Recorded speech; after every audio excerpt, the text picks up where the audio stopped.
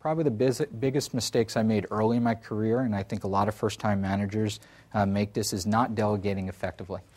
Right? You, you, you want to do a good job, you're kind of like to be in control, and you just go and do it instead of building your team up. And success is really not how smart you are, but how can you get people to do what you want?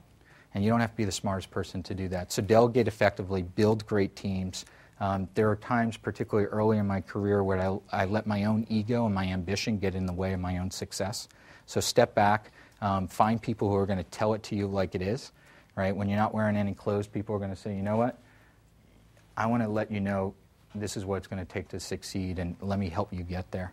Um, and then also realize it's hard when you're in any particular kind of period in life. Is it's not about the money because every study you could read is money doesn't drive happiness right? And that life is really short. Um, if we're lucky, we'll live into our 80s and 90s, but um, too often life uh, ends before that. And so make sure you're creating balance in life, um, having good um, friends, good family, um, uh, you know, spirituality, and then also feeling good about what you're doing every day.